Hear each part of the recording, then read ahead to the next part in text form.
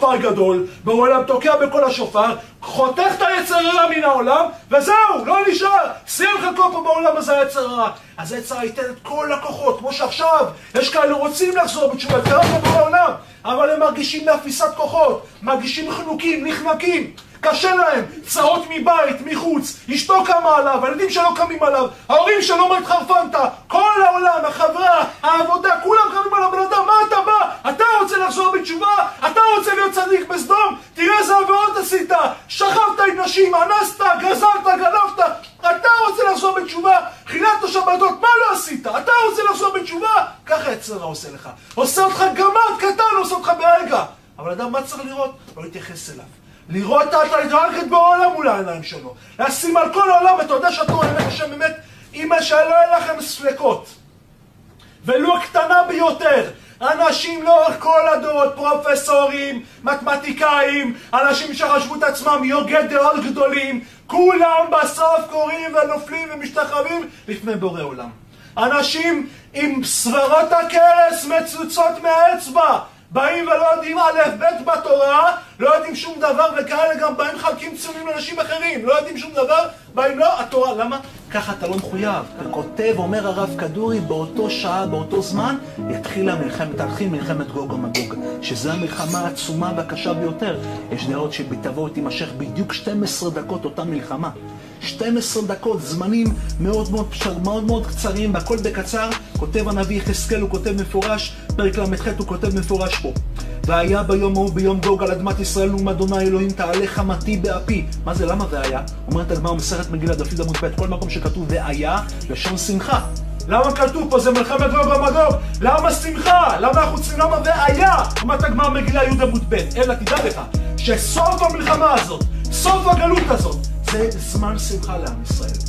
זה זמן שבו הקדוש ברוך הוא יתגדל בעולם. וממשיך פה אומר הנביא יחזקאל פרק ל"ח והיה ביום ההוא ביום גוג על אדמת ישראל נאום אדוני אלוהים תעלה חמתי באפי ובקנאתי באש עברתי דיברתי אם לא ביום ההוא יהיה רעש גדול על אדמת ישראל רעש גדול יהיה פה לאדמה הזאת. ורעשו מפניי דגי הים ועוף השמיים וחיית השדה וכל הרמס הרומס על האדמה וכל האדם אשר על פני האדמה.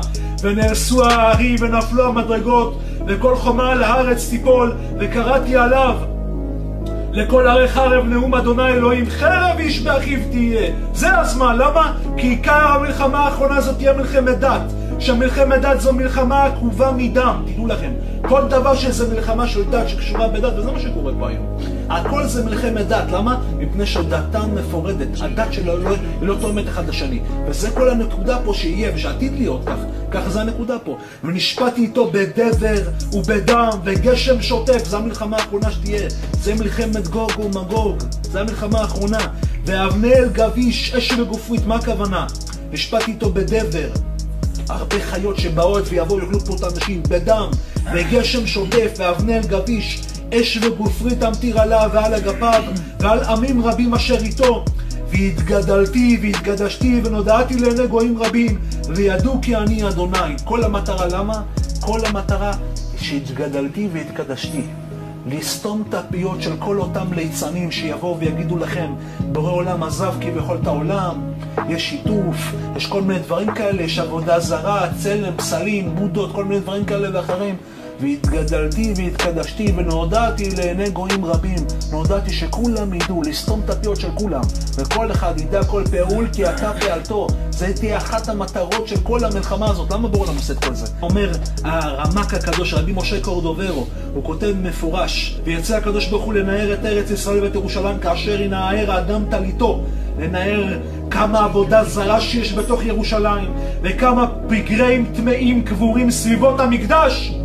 וכמה מקומות המטונפים אשר בו, ובעת ההיא יצאו כל קיבוץ עם, עם השם במדבר, ויצ'ו שם ברעב ובעוני מהם ארבעים וחמש יום, והצטרפו והתלבנו, וירא עליהם אליהו, והתגלה עליהם שכינה, ויתוקנו דגלים בשכינה, ותרד בית המקדש, ויבואו ישראל אל ירושלים הבנויה, ושכינה עמהם כמצאתה מארץ מצרים, אז ירבו הניסים. ויגדלו עד אין קץ, אשר אין פה יכול לדבר, ולשכל יכול לשער.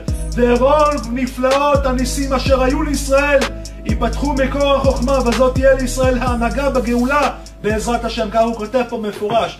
גדולי החסידים מהשם מעשה הכינו חליפה לזה שיבוא המשיח. קנו חליפה לבנה לכבודו של מלך המשיח. למה? שיהיה להם בגד חדש, שיבוא ויתגלה מלך המשיח. למדו את הברכות שצריך לברך עליו. בסדר ברכות דף י"ז, צדיקים יושבים, עטרותיהם בראשיהם ונהנים מזיו השכינה. לדעת שכבר יבוא המשיח כבר נגמר הסיפור. אין בעולם הבא זה לעולם הזה לעולם בא לשיבוט מלכות בלבד. כבר יבוא המשיח, תתגלה מלכותו של בורא עולם בעולם הזה. לאחר מכן כבר אי אפשר לבוא להגיד לבורא עולם אני רוצה להתקרב אליך, לחזור אליך. זה הזמן. עכשיו, לפני שהצרות האלה כמעט אין בית שאין פה פגע, שזה לא יתקרב אליך ולא לאף אחד מעם ישראל, שזה כבר יקרה, נזכה כבר שיגיע אותו יום, שיהיה כבר להיות ערב, יבוא להיות חושך, פתאום כל העולם ירעד, כל העולם, והיה רעש גדול, ורעשו מפניי התגיע הים ועוף השמיים. למה? למען התגדלתי והתגדשתי ונודעתי לעיני גויים רבים, שיתגדל שמו של בורא עולם בעולמו. שידע כל פעול כי אתה פעלתו, ויבין כל יצור כי אתה יצורתו, ויאמר כל אשר נשמה מאפו, אדוני אלוהי ישראל מלך, ומלכותו בכל משלה בקרוב ממש.